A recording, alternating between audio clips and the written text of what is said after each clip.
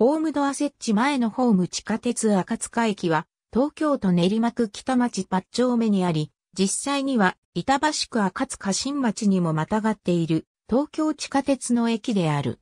正式な所在地は駅事務室のある練馬区となっている。練馬区最北端の駅、有楽町線、福都新線が乗り入れる。当駅を含む和光市駅小竹向原駅の区間は有楽町線と福都新線が線路を共有している。駅番号は有楽町線が Y03、福都新線が F03 である。島式ホーム一面二線を有する地下駅。川越街道の直下にある。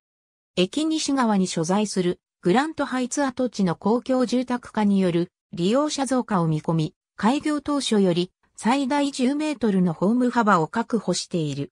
2011年2月23日からスイッチ制作の発射メロディを使用している。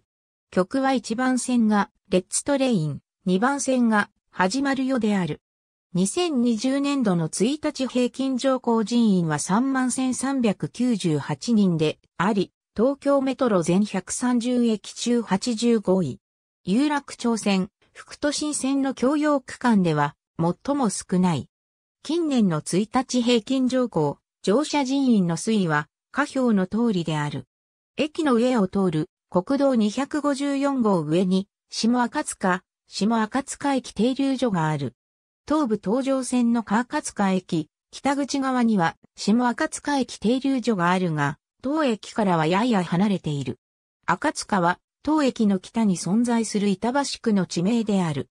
地下鉄赤塚駅と事業者名を冠した駅名を付けたのは、当駅の北方100メートルに位置する東武東上線、下赤塚駅と区別するためである。計画段階での仮称は赤塚駅であった。なお、隣の地下鉄成増駅も同種子の命名。